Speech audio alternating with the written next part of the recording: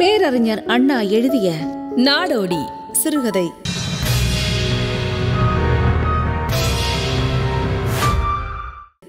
நாடோடி பயல். நாடோடி. பிழைக்கிற கழுதை இங்கே பிழைக்க கூடாதா? ரொம்ப காரியமா சிதம்பரம் ஓடினானா? போய் என்று எம்பெருமான் கேட்டார். தோட்டக்காரன் தன் மகன் விஷயமாக முறையிட்டு கொண்ட போது எஜமானர் எம்பெருமான் பிள்ளை மான் அண்ட் கோ சொந்தக்காரர். தோட்டக்காரன் எம்பெருமான் பிள்ளையின் தகப்பனாருக்கு பாலிய சிநேகிதம். கால வித்தியாசத்தாலே அவன் தோட்டக்காரனாக நேரிட்டது. அது வேற கதை. தோட்டக்காரனாக இருந்தாலும் தன் தகப்பனாருக்கு பாலிய சிநேகம் என்பதாலே எம்பெருமான் பிள்ளை தோட்டக்காரனிடம் கொஞ்சம் அன்போடும் அக்கறையோடும் பேசுவது வாடிக்கை. அன்று தோட்டக்காரன் தன் மகனுடைய கெட்ட நடவடிக்கையை பற்றி முறையிட்டு கொண்டு வரும்போதுதான் எம்பெருமான் பிள்ளை நாடோடி நாய் கழுதை என்று பேசி தோட்டக்காரனிடம் தனக்குள்ள அக்கறையை காட்டிக்கொண்டிருந்தார் என்ன பண்றதுங்கோ? நான் எவ்வளவோ சொன்னேன். ஆமா முந்தி அவன் நாகப்பட்டினம் போற போதே கூட வேண்டாம்னு தான் சொன்னேன். ஆமாங்க ஏண்டாப்பா நாகப்பட்டினம் போக வேணாம்னு சொன்னேன். போய்த்தான் ஆகணும் அங்கே வேலை கிடைக்கும்னு சொல்லிட்டு போனான். போன பத்தா நாள் பாண்டிச்சேரிக்கு போறேன்னு கடிதம் போட்டான். நான் கூட கொஞ்சம் சந்தோஷப்பட்டேனுங்க. தொலையட்டும். பாண்டியில தானே என் மச்சான் இருக்கான் அவனோட இருந்து தொலைக்கட்டும்னு நினச்சேன். அங்கே ரெண்டு மாதம் சரியா இல்லை. நான் சிலோன் போகிறேன்டா அண்ணா. போகிறவனோ போய்கொண்டிருக்கிற போக்கு உழைச்சி ஊருக்கு அடங்கி இருக்க வேணும்னா நாகப்பட்டினத்திலேயே இருக்க மாட்டானா? சிலோன் ஏன் போகணும்? அதுதான் சொல்கிறேன்னா இதுகளுக்கு காலிலே சக்கரை இருக்கு. சுற்றிக்கிட்டே இருக்கும். நான் தலைப்பாடாக அடிச்சுக்கிட்டேன். டேய் மருதாச்சலம் வேண்டாம்ப்பா. நாம் ஏதோ கொஞ்சம் கௌரவமாக வாழ்ந்தவங்க. கால வித்தியாசம் கொஞ்சம் நொந்து போயிட்டோம். ஊரோட இருந்து எதுவோ ஒரு பழப்புக்கான வேலையை கவனிப்போம். நீ இங்கே இருடான்னு சொன்னேன். அவன் நீங்கள் சொல்கிற மாதிரியா? அவன் காலில் சக்கரம் இருக்கோ என்னமோ?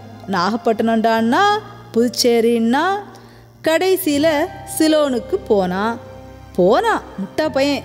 இவனை என்னன்னு எண்ணி இருப்பாங்க அங்கே. நாடோடி போலிருக்குன்னு தானே சொல்லியிருப்பாங்க. வேற என்ன சொல்லுவாங்க? சிலோன்ல இருந்து மறுபடியும் தூத்துக்குடி வந்தானா? இப்போ சிதம்பரத்துல இருந்து ஒரு கடிதாசி போடுறான். சிங்கப்பூர் போகிறதாக இருக்கிறேன்னு. நான் என்னத்த செய்யறதுங்க என்ன செய்ய முடியும்? அவன் சுபாவம் அப்படி ஆகிவிட்டது நாடோடி ஆகிவிட்டான். போய் கெட்டு அலைஞ்சி கழுத தானா வந்து சேரும். எஜமானர் நெடுநேரம் பேசிவிட்டார். மேலும் அன்று ஒரு கமிட்டி கூட்டம். அதற்கு போக வேண்டிய அவசரம் இருந்தது. தோட்டக்காரனுக்கு திருப்திதான். என்னமோ எஜமானர் இவ்வளவு அக்கறையுடன் தன்னிடம் பேசினாரே என்பது பற்றி. எஜமானர் சொன்னதிலே என்ன தப்பிதம் இருக்கு? பயல் நாடோடியாகத்தான் இருக்கிறான் என்று எண்ணிக்கொண்டே தோட்டம் போய் சேர்ந்தார் மருதாச்சலத்தின் தந்தை மார்த்தாண்டம் பிள்ளை. மான் அண்ட் கம்பெனி எம்பெருமான் உடையது ஆனால் இது தவிர அவருக்கு வேறு பல வியாபார கம்பெனிகளில் தொடர்பு உண்டு. அப்படிப்பட்ட ஒரு கம்பெனியின் கமிட்டி கூட்டம்தான் நடைபெற்றது. அதற்காகத்தான் அவசரமாக தோட்டக்காரரிடம் பேச்சை முடித்துக்கொண்டு எம்பெருமான் பிள்ளை சென்றார். கமிட்டியிலே கொஞ்சம் சூடான விவாதம். கமிட்டியாரால் நியமிக்கப்பட்டிருந்த கம்பெனி மேனேஜர் மீது புகார்கள். அவர் சரியாக வேலையை கவனிக்கவில்லை என்று. குற்றப்பத்திரிகையை தாக்கல் செய்தது எம்பெருமான் பிள்ளை. அன்று குறுக்கு கேள்விகளையும் அவரேதான் பூட்டினார். ஆமாம் சார் ஆறாம் தேதி தானே ஆற்காடு போனீர். ஆமாம் ஆற்காட்டிலேயே சரக்கு கிடைக்கும் என்று சொன்னார்கள். போனேன். சரியாக பஸ் சர்வீஸ் கூட இல்லை. பாதி தூரம் ஜட்காவில் கூட போக வேண்டி நேரிட்டது. அது சரி வேலையை அக்கறையாக பார்க்காவிட்டால் எப்படி ஆகும் ஐயா? ஜட்காவிலே போனது ஒரு பெரிய பிரமாதமா இருக்குமுக்கு இப்படி உடல் குலுங்குவது கூடாது என்று எண்ணுபவர்கள் வீட்டோடு இருக்க வேண்டும். வேலை பார்க்கிறேன் என்று வருவானேன்? கம்பெனிக்கு வீண் நஷ்டம் எதற்கு? உம்முடைய டைரியை பார்த்தாலே தெரிகிறதே நீ வேலை பார்த்த லட்சணம். ஆற்காட்டுக்கு ஆறாம் தேதி போயிருக்கிறீர். மறுதினமே திரும்பி ஊருக்கு வந்து விட்டிருக்கிறீர். ஆமாம் வராமல் என்ன செய்வது? ஆற்காட்டிலே சரக்கு கிடைக்கவில்லை என்றார் மேனேஜர் உடனே மாப்பிள்ளை மாதிரி ஊருக்கு வந்து விட்டீர். ஏன் ஆற்காட்டிலே இல்லை என்றால் வேலூர் போய் பார்க்கிறது? ஆற்காடு போவதற்கு பட்ட அலைச்சல் கொஞ்சமா? அலைச்சலோட அலைச்சலா வேலூருக்கும் போகணுமா? உம்மால முடியலன்னா சொல்லிவிட வேணும். எதுக்காக இப்படி கல் பிள்ளையார் போல ஊரோடு உட்கார்ந்து இருக்கிறவர் மேனேஜர் வேலைக்கு வரணும்? நம்ம கம்பெனி வியாபாரத்துக்கு சுற்றி அலைஞ்சா தானே நடக்கும். கொட்டி இருக்கிறமே பணத்தை. உமக்கு ஊர் போய் வருவது பெரிய சிரமமாக இருக்குது ஊர் சுற்றி அலையாமலா இருக்கிறேன். ஆற்காடு போய் வந்த பிறகு அடுத்த வாரமே சோழிங்கபுரம் போயிருந்தேன். சோழிங்கபுரம் போய் வந்ததை என்னையா? என்னமோ சிலோன் சிங்கப்பூர் போய் வந்த மாதிரி பேசி காட்டுற? பிரமாதமான பிரயாணம் செய்துட்ட போயா. ஆறாம் தேதி ஆற்காடு போய் வந்த ஆசாமி பதினாலாம் தேதி வரைக்கும் ஊரை விட்டு அசையவே இல்லை. ஒரு நாள் சோழிங்கபுரம் போய் வந்த பிறகு மறுபடியும் ஏழு நாள் இங்கே இருந்திருக்கிறாரே. பிறகு ஒரு நாலு நாள் எதெதுவோ ஊர் போயிருந்திருக்கிற. அந்த நாலு நாள் நான் அலைஞ்சு தெரிஞ்சது இருக்குங்களே. நாய்ப்படாத பாடுபட்டிருக்கேன். நெல்லூர் எங்கே இருக்கு? அங்கே போய் மறுநாளே புறப்பட்டு சித்தூர் போய் வர்றேன். வழியில வேலூரை பார்த்துக்கிட்டு மறுபடியும் ஆற்காடு போய் காஞ்சிபுரத்தில் ஒரு மணி நேரம் இருந்து அந்த வேலையை கவனிச்சுக்கிட்டு மறுபடியும் ஊருக்கு வந்தேன். நாடோடி மாதிரியாக சுற்றிட்டு இருக்கேன். ஓஹோ நாலு ஊர் போய் வந்தது உமக்கு நாடோடி பிழைப்பா தோணுதா? நாடோடியாக சுற்றினாதான் ஐயா வியாபாரம் நடக்கும்? மாதம் முள்ளங்கி பத்த மாதிரி தொண்ணூறு ரூபாய் வாங்குறியே. வெளியூர் போகாவிட்டா வியாபாரம் எப்படி லாபம் தரும்? யார் அப்போ வீட்டில் இருந்து உனக்கு சம்பளம் கொடுக்கறது? நாடோடியாமே நாடோடி. ஆமாயா ஆமாம் நாங்கள்லாம் வியாபாரம் சம்பந்தமாக வெளியூர் போகாமல் தானே இருக்கிறோம். நாடோடியா கட்டி போட்ட மாடு மாதிரி பிடிச்சு வச்ச பிள்ளையார் மாதிரி இடிச்சு வச்ச புலி மாதிரி உள்ளூர்லேயே இருந்துக்கையே யார் ஒன்று வேண்டான்னு சொல்கிறவங்க நம்ம கம்பெனி மேனேஜராக இருக்க வேணும்னா நாலு ஊர் அலைஞ்சு திரியத்தான் வேணும். தூத்துக்குடி தொலைவாச்ச பெங்களூரில் குளிராச்ச நெல்லூரில் வெள்ளமாச்சேன்னு பேசினா கம்பெனி என்ன ஆகுது அலையத்தான் வேணும் திரியத்தான் வேணும். இன்னைக்கு ஒரு ஊர் நாளைக்கு ஒரு ஊருன்னு போய்த்தான் வர வேணும். இதை பாருயா மேனேஜர் நான் திட்டமாக கண்டிப்பாக சொல்லிவிடுறேன். கேட்டுக்கோ. என் மேலே குறை சொல்லாத. நம்ம கம்பெனிக்கு அலைஞ்சு திரிகிற ஆசாமி தான் வேணும். ஊரோட இருக்கணும். வெளியூர் அடிக்கடி போக முடியாதுன்னு நினச்சா கணக்கு தீர்த்துக்கோ. நாலு ஊர் போய் வந்திருக்கிற. ஏனையா இன்னும் சில இடத்த பார்த்துருக்க கூடாதா? என்று கேட்டதற்கு உன் வாய் கொழுப்பு.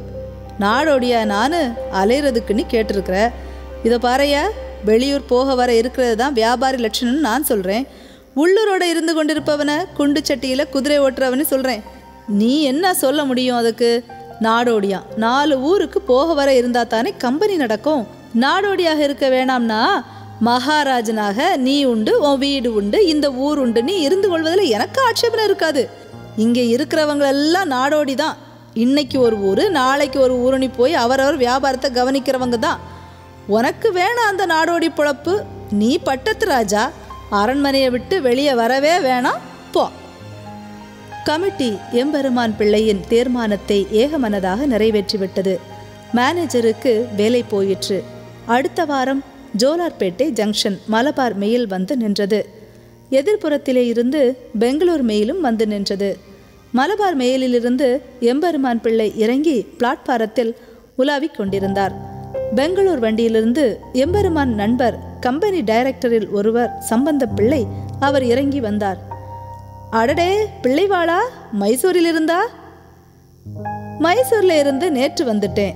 பெங்களூர்ல கொஞ்சம் வேலை இருந்தது. பார்த்து கொண்டு புறப்பட்டேன். நீங்க கோயம்புத்தூரா? கோயம்புத்தூர்ல காலையிலே கொஞ்சம் வேலையை பார்க்கணும். மத்தியானமா பாலக்காடு போகலாம்னு இருக்கேன். நானும் நேராக மெட்ராஸ் போறேன். அங்கே போன பிறகு மார்க்கெட் நிலவரத்தை பார்த்துட்டு மங்களூர் போகணும். மசூலிப்பட்டினம் போக வேணும்னு சொன்னீரே. ஆமாம் அங்கேயும் தான் போய் வரணும். வேலை சரியாக இருக்கு. ரயிலில் இடம் சௌகரியமாக கிடைச்சதா? செகண்ட் கிளாஸ் கிடைக்கல. ஃபர்ஸ்ட் கிளாஸ் வாங்கி கொண்டு வரேன். சரி பாலக்காடு முடிந்ததும் நேராக ஊருக்கு தானா? ஆமாம் ஊருக்கு வந்து உப்பங்களி கான்ட்ராக்ட் வேலையை கவனித்து விட்டு உடனே ஊட்டி போகணும். நம்ம பம்பாய் சேட்டு மூழ்ச்சி வந்திருக்கிறான் ஊட்டியில். என்னமோ அமெரிக்கன் ரேடியோவுக்கு ஏஜென்ட் வேணும்னு சொன்னானாம். அதை எடுத்து வைப்போமான்னு ஒரு யோசனை என்றார் சம்பந்தம் பிள்ளை. செய்யறது? சரி ரயில் புறப்பட போவது வரட்டுமா? என்று கிளம்பினார் எம்பெருமான் பிள்ளை. ரயில்கள் புறப்பட்டு விட்டன. இரண்டாம் வகுப்பிலே சம்பந்தம் அப்பா பயல் பணத்துக்கு பிசாசா அலையிறான் என்று எண்ணிக்கொண்டே படுத்தார் எம்பெருமான். சம்பந்தம் பிள்ளையை பற்றி எம்பெருமான் சம்பந்தம் சுற்றுவதற்கு சளைப்பதில்லை. பணம் எங்கு கிடைக்குமோ என்று மோப்பம் பிடித்துக்கொண்டு அலைகிறான் என்று சம்பந்தத்தை மனதுக்குள் திட்டிக்கொண்டே இருந்தான். வியாபாரிகளை ஏற்றிக்கொண்டு இரண்டு ரயில்களும் கம்பீரமாக சென்றன. சிதம்பரம் சந்திரா டாக்கேஸில் டீ கடையில் தோட்டக்காரனின் மகன் மருதாச்சலம் அரை தூக்கத்தோடு உட்கார்ந்து கொண்டிருந்தான். உள்ளே மாய உலகு என்ற தமிழ் பட காட்சி நடந்து கொண்டிருந்தது. பேரறிஞர் அண்ணா எழுதிய நாடோடி. சிறுகதை கேட்டீர்கள். வழங்கியவர் ஆர்ஜே சுமிமோள். இதமான கதைகள் கேட்க தாடகை மைந்தர்கள் யூடியூப் சேனலுடன் இணைந்திருங்கள்.